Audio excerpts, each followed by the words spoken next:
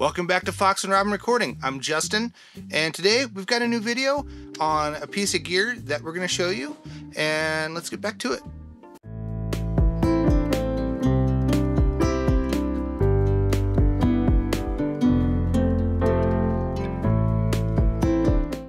Okay, so we're back here in the studio. You may have uh, noticed we haven't put out much content lately. We've we've put out some shorts here and there. Uh, we've been busy working on our Atmos systems here and all the different things and interfaces. We had to switch interfaces because we had some issues with our Apollo, or not our Apollo, our Antelope Orion. We had Orion Studio, one of the, I believe it was one of the first generation ones. It was the silver faced one, and it just it was a little buggy, and it just some days it would work fine, some days it wouldn't.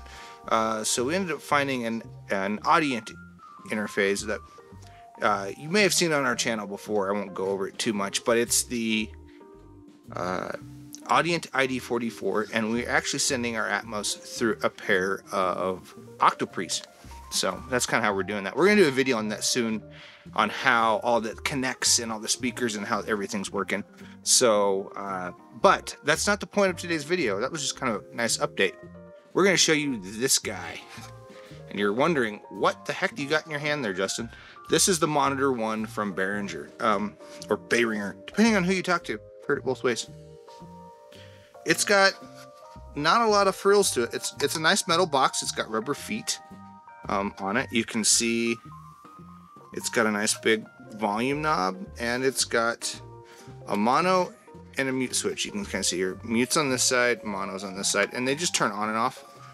Um, it's a stereo unit, so if you have need for a headphone amplifier or a, a, headphone amplifier for a monitor uh, volume control, this is a good option. Uh, it sounds good. I thought, oh, it's Behringer. It's probably going to sound terrible. It's going to be cheaply made. No, it actually works really well. It's got uh, two sets of inputs. It's got a left and a right, and a stereo 1 8 and then it's got a set of XLR outputs that are left and right, and then a 1 8 output as well, which is kind of neat. Um, they're super cheap. I think I paid. I bought this used, so what I paid is not what retail is. I, I think I paid 50 bucks used. So you can find them used pretty cheap. Uh, we used it when we were just doing the stereo monitors um, but now, since we're Atmos, we're not really using this guy anymore. But I thought I should at least review it. Um, it might go in our B room if we ever build a B room. Uh, but it's kind of a neat little unit. It's got, like I said, left and right, in and out, and a left and right out. I just said that twice. Anyways, um, the one thing I can say about it is, since it is passive, none of the buttons light up. It's a passive unit. There's no power that comes in. It's just your input comes in and then it goes out to your speakers. Um, you can't really do it. It doesn't have a sub out.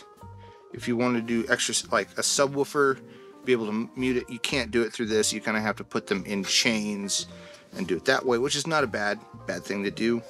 Um, but since the buttons don't light up, you kind of have to really pay attention to whether this is uh, muted or not. Like if this button is down and it's sitting on the desk, it's kind of hard to tell the height.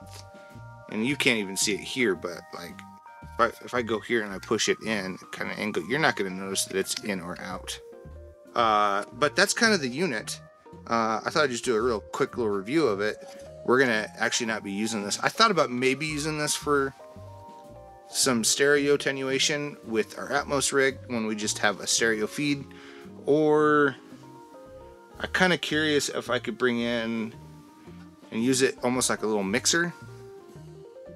I don't think I could bring in like guitar and vocal and just turn it up and down. But it's just a volume knob. It's a stereo volume knob. I've thought about even using it on my TV upstairs. But uh, we keep it around here. Could be useful for something. Maybe we plug guitars into it and attenuate guitars. I don't know. There's so many things you can use it for. You know, you could use it with your would be a cool thing I just thought of was if you were to use this unit, as I keep spinning around here, keep using this unit as something to it. Maybe you've got a Kemper and you want the stereo outs to maybe not be as loud, you know, like you still need it quieter than what it can output or something. I don't know. Just a thought. Anyways, check out our other videos. Uh, hit the like and subscribe.